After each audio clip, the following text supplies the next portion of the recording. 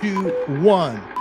In the hot seat on Artist on Record, your ultimate intimate conversation with your favorite artist. I have the one and only Mr. Steve Cropper. You know him from Otis Redding, from Booker T and the MGs, the Blues Brothers. He has a new album out, and uh, I'll put the links down below. It's called Friendlytown, and the first single that's out, it's Too Much Stress, featuring Queen's Brian May. So make sure you check that out. I'll put the links right above here, or they'll be in the links down below.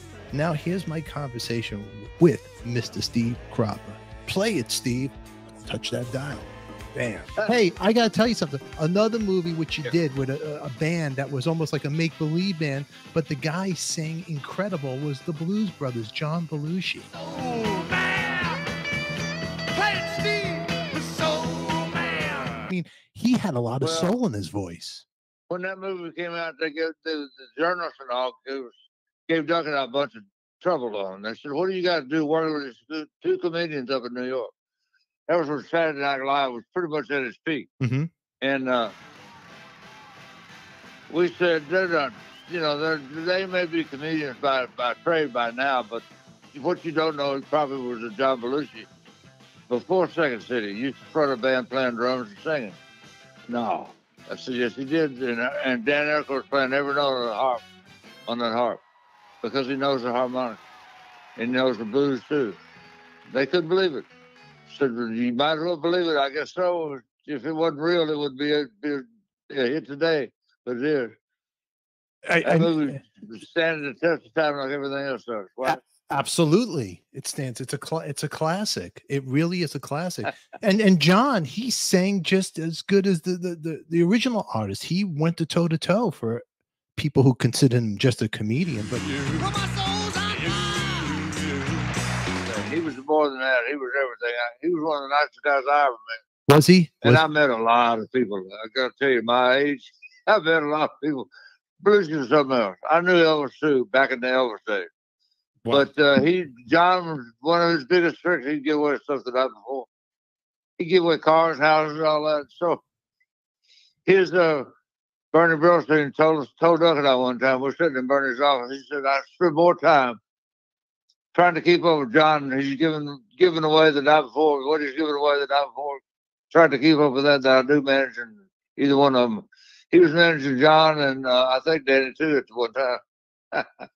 so, He's So- not with us anymore. Bernie was just what a great guy he was. He was a- yeah. Oh, he was he great. But I will tell you this about Belushi. You Mhm. didn't ask, but I will tell you anyway. He never refused a fan an autograph, ever. He He'd take time out of his schedule.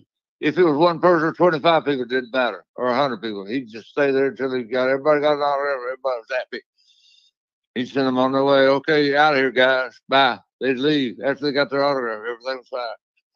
so he he had he just loved his fans. He just you know was down Yeah. with them. That's cool. That's cool to hear, man. I mean, the Blues Brothers. Well, being around guys that are that are great, uh, that are known to be great, yeah, it's fun.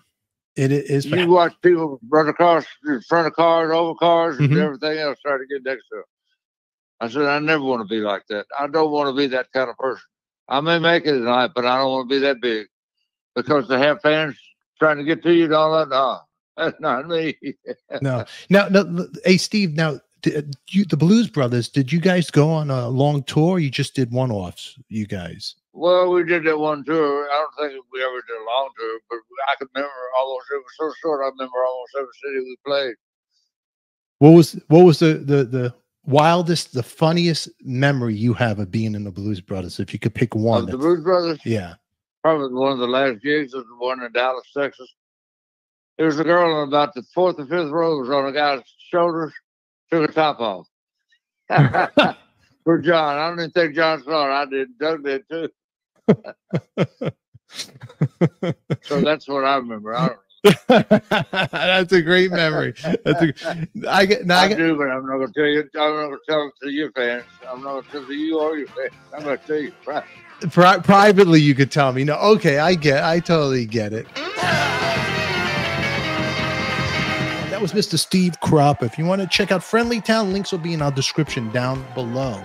In the meantime, make sure you post your comments down below. Give us a thumbs up, and of course, subscribe to our channel. And As always, you can catch this episode on our members only club unedited. In the meantime, I am Stefan. You are beautiful. We love you, baby? We do. We'll catch you all later. うん。